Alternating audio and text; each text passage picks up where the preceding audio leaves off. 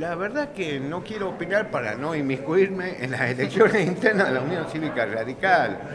Yo creo que eh, yo felicito a la Unión Cívica Radical.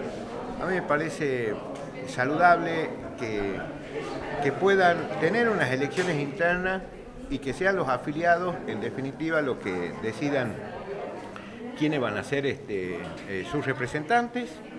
Genera movimiento también en su partido, eh, genera que tengan que ir y hablar con sus afiliados y, y darle sus propuestas.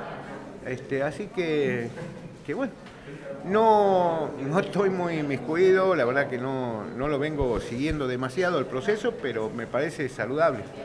En este año electoral, ¿cuándo usted en lo personal va a tomar la determinación si va a ser candidato a la intendencia, si va a pelear la gobernación, si lo va a charlar con el partido?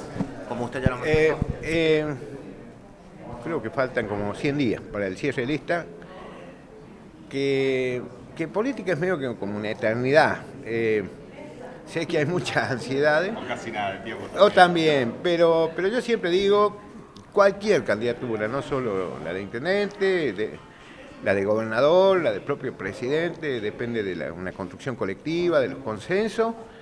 Y eso en, en, algún momento seguramente se va a dar esa, esa charla dentro de lo que es el, frente de todo y se comenzarán a resolver el tema de las candidaturas.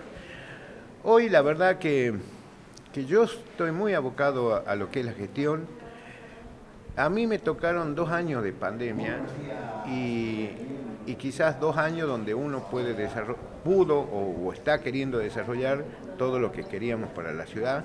Y les puedo asegurar que no me alcanzan las horas ni los días para poder seguir desarrollando la tarea que tenemos en claro de lo que tenemos que hacer.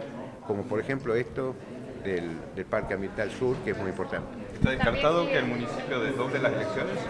Sí, sí, sí, sí, sí. Van a ser, el municipio ya ha decidido que van a ser juntos con, con la provincial y la nacional.